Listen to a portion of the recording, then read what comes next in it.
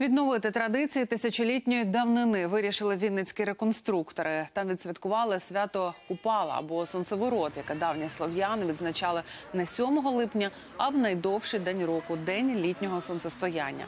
Під купальські пісні дівчата плели вінки і водили хороводи навколо прикрашеної гілки марени. А хлопці пронесли містом солом'яне опудало Купала, яке згодом втопили у річці. Кожен охочий цього дня міг стрибнути через багаття, яке за повір'ям скріплює кохання пар і очищує від негативу. Коли в них віриш, вони здійснюються ці всі традиції, ці всі чудеса.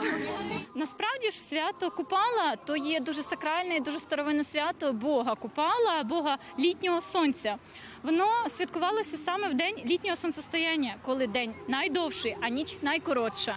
І це був 20, 20 цей день був 20 або 21 червня, коли християнство прийшло на Київську Русь. Воно більш як 5 століть е, намагалося викорінити стародавні традиції, які були характерні для нашого народу, в тому числі і свято Купала.